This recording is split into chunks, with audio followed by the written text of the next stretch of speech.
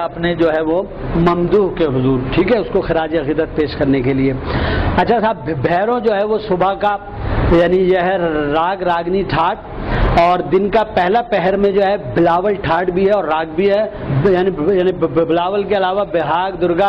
अच्छा बेहाग को रात का भी समझा जाता है। हम लोग पढ़ते हैं एक ही दफ़ा, बल्कि दो दिन चाँद रात मुहर्रम की और पहली मुहर्रम, फिर चाँद मुहर्रम का नज़र आया है। जिबन आ गया तो मैं बता दूँ, ये रात को भी पढ़ा जाता है, इसमें थोड़ी तब्दीली के साथ, लेकिन ये है ठाट बिलावल। दुर्गा, पहाड़ी और मांड, ये साहब इसके वो हैं। अब आ जाइए दिन का दूसरा पहर। इसमें असावरी ठाट भी है और राग भी है। इसमें भी कुछ थोड़ा इख्तलाफ है कि ठाट के सिलसिले में। अच्छा यहाँ क्या है? असावरी मारवी और दरबारी, जौनपुरी, देसी। दिन के तीसरे पहर में, इसके बारे में अभी एक बात सबसे आखिर में अर्ज़ करूँगा, कल्याण ठाट अच्छा कल्याण ठाट में, कल्याण ठाट भी है, राग भी है, गोड़ सारंग, गोंड, और इसमें ये रात के पहले, दूसरे, तीसरे पहर में भी गाया जा सकता है।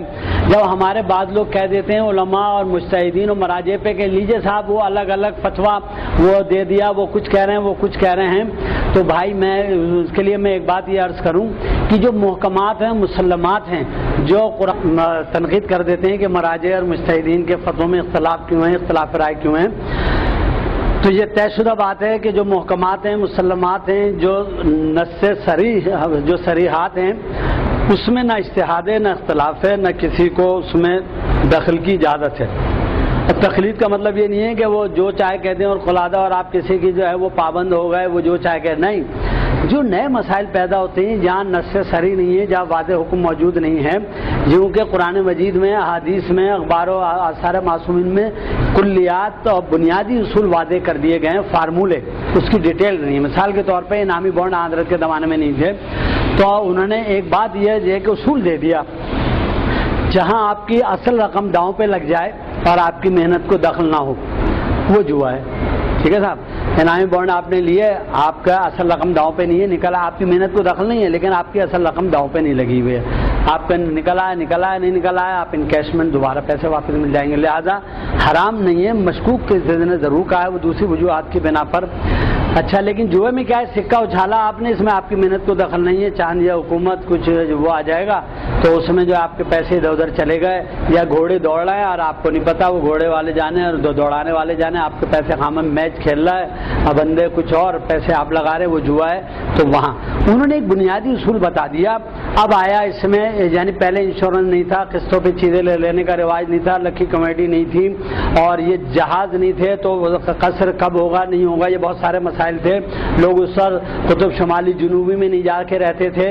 वहाँ नमाज़ कैसे होगी, रोज़ा कैसे होगा, ये मसाइल पहले नहीं थे। अब इसकी वजाहत कौन करेगा? कुरान हदीस में तो ये नहीं लिखा कि नॉर्वे का बंदा रोज़ा कैसे रखे या नमाज़ कैसे पढ़े। तो बात ये कि बुनियादी उसूल कुल्लियात सब कुछ को तर मौजूद है।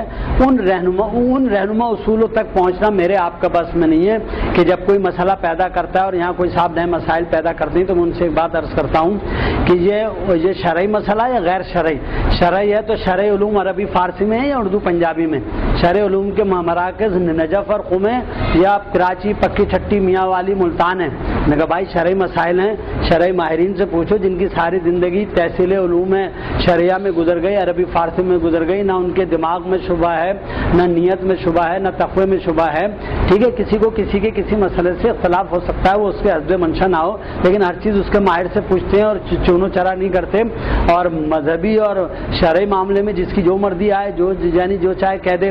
तो इख्तलाफ राय वो मुसलमात में नहीं है मोकमात में नहीं है। तो वहाँ है, उन्होंने कहा, भाई, ये शरय मसला शरय लोगों से पूछो और आप उसमें अपनी अकल को या अपनी राय को या अपने नफ्स को या कयास को उसमें दखल मत दो। तो ये इख्तलाफ हर चीज़ में है, दुनिया के हर मामले में है, हर उसके यानी अप्रोच में है, हर उसके मेथड में है। तो लेकिन वहाँ ये जहाँ भी है, राग रागनियों का ठाट के इस्तेमाल में एक ही जो है, यानी ये समझ लें कल्याण को, रात के पहले पहर का भी गया है, दूसरे पहर का भी है, तीसरे पहर का भी कहा गया है। इसी तरह भीम पलासी को टोड़ी में भी शुमार किया है, कल्याण और काफ़ी ठाट में भी शुमार किया गया है। यहाँ भी मैंने लिखा है कि ये जो धनाश्री, भैरवी और काफ़ी दोनों ठाटों में शुमार होती है जो धनाश्री है, इसको भैरवी और काफ़ी दोनों ठाटों में शुमार करते हैं और मुस्तनद और मुसलमा इस कराम करते हैं तो उसमें तो आपको कोई तकलीफ़, परेशानी नहीं होती है। किसी मुश्तद ने किसी मसले में इख्तलाफ राय कर दिया है अपने इल्म और जवाब और शरय दलील के तौर पर तो तो आपको उसमें मतलब जंगुश नुमाई का और हरदर सराई का मौका मिल जाता है। खैर साहब, ये एक ज़िमनी मसला था, मगर ये ज़िमनी मसाइल हमारे यहाँ क्लास में आते रहते हैं और ये कुरानी अंदाज भी है, आप हजरात यकीन इससे मानूस हैं। अच्छा साहब दिन के दूसरे पैर में आसावरी मारवी दरबारी जौनपुरी देसी दिन का तीसरा पैर कल्याण। कल्याण जो है वो मगरिब के वक्त भी हमारा बड़ा पसंदीदा राग ठाट है अहमन कल्याण वगैरह। ज़्यादातर मजालिस जो होती हैं, दोपहर में बहुत कम होती हैं, फजर के बाद नौ खानी आमतौर पर रात गए होती है और सुबह तक होती है। कभी कभार जुलूस में, दिन की मजलिस में हो गई, सो हो गई, लेकिन सोसानी जो है वो रात गए बहुत कम होती है। हमें तो कभी कभार पढ़नी पड़ जाती है, लेकिन आम तौर पर सोसानी का वक्त है, इसलिए हम कहते हैं कि अगर आप सोसानी करेंगे और हमारी वाली तकनीकी सोसानी करेंगे तो नौ खानी मनकबत खानी, सलाम खानी, नात खानी, सब कर सकते हैं और अपनी पढ़ाई और मामूलत और अपने दफातर भी जा सकते हैं। आप ये कर सकते हैं कि आप कमीशन ऑफिसर हों, आप एक, यानी एक इदारे के सरबरा हों और आप सोसानी कर सकें यूँ कि सोसानी आमतौर पर रात दस बजे तक ख़त्म हो जाती है। नौ खानी शुरू दस बजे के बाद होती है। सुबह तक जाग के आप सवा दो महीने आप किसी जो है वो माकूल जॉब या ज़िम्मेदारी नहीं निभा सकते। हमारी सोसानी जो है वो सुबह दस बजे से अगर छुट्टी है तो वरना ये कि शाम और रात में होती है और आमतौर पर मगरब से पहले या बाद। और आमतौर पर एजाम नजम मगरब के बाद तो कल्याण ठाट उसके लिए बहुत यानी अमन और कल्याण बहुत ज़्यादा मौजू होता है। अभी इसके ऊपर बाद में बात करते हैं। अच्छा साहब, उसके बाद आज दिन का चौथा पहर। चौथे पहर में पूर्वी है, पूर्वी रात में भी इस्तेमाल होती है और ये पूरिया पूरिया धनाश्री, बसंत, दीपक, गोरी। और दीपक जो है, ये ज़्यादातर दोपहर और इसको बड़ा जलाली सा और आग वाला और वैसा जो है कहा जाता है, आग लगा देने वाला और इस्तेमाल पैदा करने वाला। तो आप ये समझ लें कि ये दिन का चौथा पहर आमतौर पे दोपहर से पैर में ये इस्तेमाल होता है। उसके बाद साहब अजय दिन का दूसरा, तीसरा, चौथा पैर में तो टोडी टोडी वैसे रात में मियाँ की टोडी और और ये बहुत सारे वो होते हैं। तो ये मुल्तानी भेमपलासी इसमें हम पढ़ते हैं। सोजियों के ये जो हमारा वक्त जो है, वो शाम का, मगरब से पहले और मगरब के बाद का, ये इससे सूट करता है। भेमपलासी के लिए मैंने यहाँ लिखा हुआ है कि ये कल्याण और काफ़ी ठाट में भी शुमार होता है। अच्छा जनाब, शाम के राग में ठाट में मारवा भी है। मारवा राग भी है, ठाट भी है, पूरिया, सोहनी ललत वगैरह, रात का दूसरा पैर में खमाज भी कहते हैं, खिमाज भी कहते हैं। अब यहाँ इसमें मुख्तलिफ़ इस ख़ानदानों का अख्तलाफ है। तो खिमाज और खमाज दोनों कहते हैं। इसमें ये राग और ठाट दोनों है देश मल्हार रागेश्वरी गारा, जो हर वक्त गाया जा सकता है भैरवी की तरह। इसमें जो जो मल्हारे जो है, मियाँ की मल्हार और इसकी मल्हार, वो मल्हार, ये काफ़ी और खमाज दोनों ठाटों में शुमार होती हैं। अच्छा जनाब, शाम के बाद दूसरा तीसरा पहर इसमें काफ़ी है, काफ़ी रात में भी चलती है। बागेश्वरी शुद्ध सारंग बिंद्राबनी सारंग, शाहाना कानड़ा और भीम और मियाँ की मल्हार भीम प्लासी भी इसमें शुमार होती है। यानी ये काफ़ी ठाट है और ये हमारा सोसानी का, ये हमारा जो है, वो बहुत ज़्यादा इसमें इस्तेमाल होता है। उसके बाद साहब ये मैंने यहाँ वो लिखा है कि धनाश्री जो को भैरवियों काफ़ी दोनों ठाटों में शुमार किया जाता है। रात के पहले दूसरे और तीसरे पहर का ठाट कल्याण भी है। कल्याण ठाट में केदारा, कल्याण भोपाली एमन शुद्ध और दूसरे कल्याण, भीम, प्लासी वगैरह शुमार होते हैं। हम यहाँ आखिरी बात ये करके फिर आपका कोई सवाल जवाब होगा तो वो कर लेंगे। ये कोई बुनियादी उसूल थे। इसका लुबे ये है कि हर किस्म की जो है वो खुशलहानी गना नहीं है, इस तरह हराम नहीं है। उसके शरय हदूद मुकर हैं और साथ साथ ये कि सुर और राग रागनी का अपना असर होता है, माहौल होता है पस मंज़र होता है बैकग्राउंड होता है, तासुर होता है, मौका, महल, मौसम और हालात, उसकी मौजूनीत मुताबिकत और उसका तासुर होता है। मिसाल के तौर पे मैं समझाने के लिए कहता हूँ, भीम पड़ासी ये कल्याण, ये जैसे हमने लिखा है कि ये कल्याण में और टोड़ी और काफ़ी में भी इसे शुमार किया जाता है और उसका कबल मगरब, बाद मगरब। इसका तासुर जो किताबों में मौसम लिखा हुआ है कि मुबतला आजमाइश है, मुसीबत में आजमाइश में मुबतला हैं, लेकिन वहाँ मायूसी नहीं है, बल्कि उमंग दो दो हाथ करना और एक हौसला, अज़म और एक वो जो है मज़बूत क़वत इरादी और उसमें वो यानी जमा अज़मी और अज़म हौसले की वो है। अमली ज़िंदगी में करबला से बेहतर इसकी कहीं मिसाल नहीं है। बाद अवत लोगों ने राग रागनियाँ देखी और फिर कलाम का इंतखब किया, बाद अवत कलाम देख कर राग रागनी को इंतखब किया। चुनाचे तस्वीर फातिमा जो अदा की इमाम ने, जासूस ने खबर ये कही, आके सामने की सैर घाट घाट की इज्जम गुलाम ने आबे रवा में बंद किया फौज शाम ने फौज खुदा को नहर से दूरी नसीब है। शह बोले, क्या मुजायका कौसर करीब है? पाँच मिसरों में जो है वो मुबतला आजमाइश मैसूरी कनूतियत है।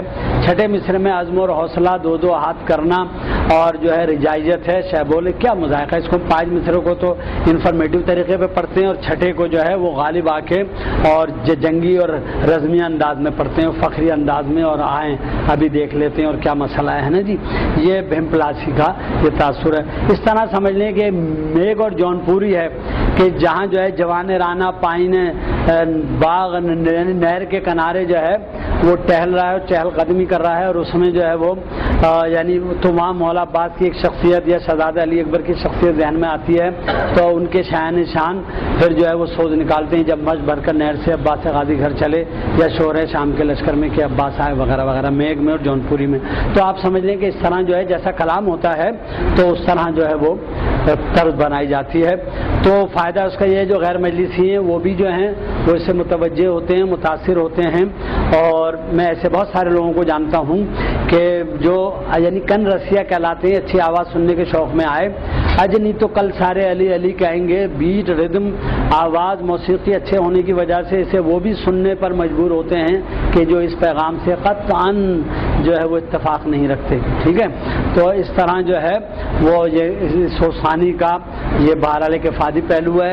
ये आप ये जान लेंगे तो आप कलाम समझ के पढ़ेंगे और आपके कलाम में, इंतखब कलाम में आपको आसानी होगी, अदायगी में आसानी होगी और इसी तरह वरना जैसे हिफ्ज़ कुरान कर लिया और बग़ैर मानी मफाहिम जाने हुए हिफ्स कर लिया और ये जो माशरे में ख़राबियाँ हैं कि हमने उसको मफहूम और उसके तकाज़ों और उसके मुतालबे और अमली पहलुओं को नज़रअंदाज किया।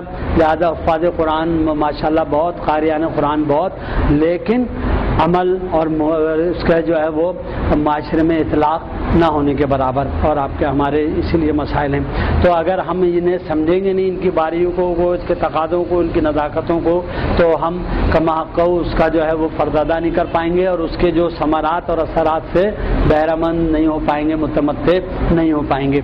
यहाँ आपने शायरी की कुछ बुनियादी जो तकनीकी रमूज से आगाही हासिल की और यहाँ मौसीकी की कुछ असलाहत और कुछ मामला अब इसकी जो मजीद तफसीत हैं कि कथा क्या कथा रुबाई सो सलाम वो हमारे कैसेट सीडीज़ और डीवीडीज़ और उसके अलावा इंटरनेट पे बहुत कुछ मिल जाते हैं। अब सीडीज़ डीवीडी कैसेट निकालने की ज़रूरत नहीं है। हम जहाँ पढ़ते हैं, कोई ना कोई बंदा है खुदा। उसे इंटरनेट पे दे देता है तो वहाँ से आप देख लें मेरा, मेरे साथियों का, मेरे इस का, बुज़ुर्गों का, जो इसको बाकायदा जानता है तो मुक़ैद और मुस्ंद शायरी और अदायगी, वो आपके पेशे निगाह होना चाहिए। मेरे पास जो कुछ भी है, वो उन बुज़ुर्गों का है, जिसमें उस्ताद माशूक अली खान साहब, इश्तियाक अली खान साहब, वाहिद हुसैन खान साहब, और फिर मासिर दीगर इस कराम भी, चाहे मकसूद मिर्ज़ा हो या आफ्ताब अली काजमी अजमुल मोहसिन हो, या मोहतरमा कज़न बेगम अख्तर वसी अली तो जफ़ार हुसैन साहब इन सारे हजरात और उसके अलावा यानी छोटे गुलाम अली खान साहब हैं। ताकि हमारे मासिर उस्ताद इफ्तार अली, प्यारे खान साहब, हमने कुछ उनसे लिया, कुछ उनको दिया एक दूसरे से। आदमी अपने मासिर हफ़्ता के हम असरों के अलावा छोटों से भी आदमी सीखता है, कहीं से भी जो चीज़ अच्छी मिल जाती है। फिर हम उससे बस फ़र्ज़ यह है कि हम छोटों से लेके उनको उसके इसबाब और उसके इल्लत और सबब का नहीं पता होता है। हम उसकी ग्रूमिंग करके और उसको एक सिस्टम में ले आते हैं। बस ये बेहतर बात हो जाती है। बकाये के सब इस्तेफादा करते हैं। मैं आप तमाम लोगों का बहुत शुक्रगुजार हूँ। आप तमाम का, हमारे भाई शुजा रज़ी साहब बहुत अच्छे सलाम खा हैं और आप तमाम हजरात, आज बारिश की वजह से, शहर की सूरत हाल की वजह से हमारे बहुत सारे साथी नहीं आ सके, फिर भी जो आप हजरात तशरीफ़ लाए, आप हम यहाँ बैठेंगे, एक दूसरे को सुनेंगे और जो क्लास का हमारा तरीक़ाकार होता है, अगरचे बहुत ताखिर हो चुकी है, लेकिन बहरहाल जो हजरात बैठना चाहेंगे, मैं मौजूद हूँ। और एक बार ये इन तमाम जो शराय कराम थे, जो हमारे बंदिश नगार थे, जो सोसानान थे, और जो आज़ादारी के खिदमतगारान थे, जो हैं उनकी तोफ़ीक़ात में इजाफे के लिए, उनकी सेहत सलामती के लिए मोमिन अजादारों की, और जो हमारे गुजशतगान थे, जो गुजर गए उनकी बुलंदी दर्जात के लिए, एक बार बहुत बुलंद सलावाद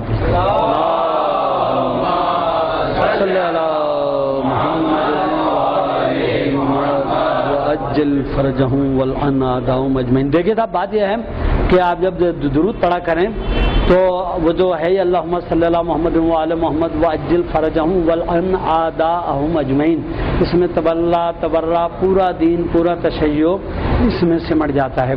तो ये आप पूरा पढ़ लिया करें तो अच्छा है, जहाँ जाए मौका हो।